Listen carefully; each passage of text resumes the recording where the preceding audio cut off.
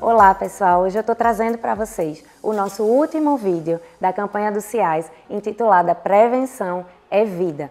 E eu quero conversar um pouquinho sobre a alimentação e o câncer. E para iniciar, eu gostaria de fazer uma pergunta para vocês. Então, vocês sabiam que existe uma alimentação que pode prevenir o câncer de mama?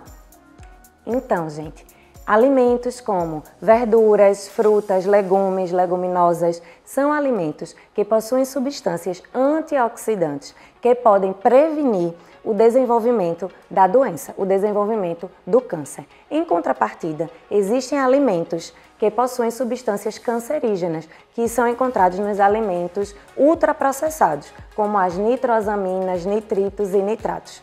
Então, essas substâncias encontradas nesses alimentos, elas podem causar o câncer.